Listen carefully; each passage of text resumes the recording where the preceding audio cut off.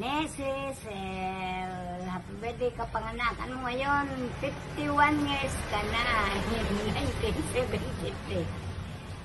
Sana ni ay ano,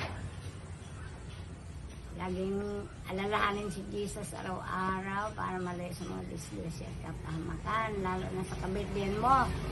Magpasalamat kay God na humaba pa ang buhay ng 51 anyos mo. Ingat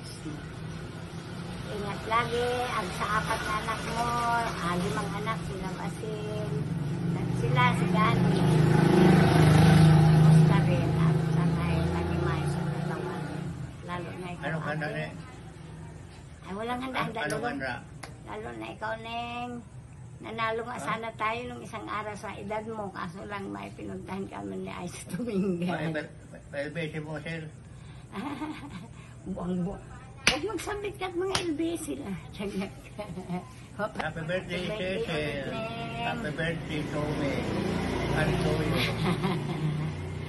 Bang ginuyang eh, si Tinta na ako. Si Lolo 78.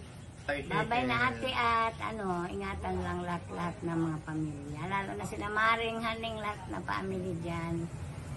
Salamat. Ikaw na lang ang... Hindi, salamat at ingatan mo ano. Sana lahat kayo dyan ay naging.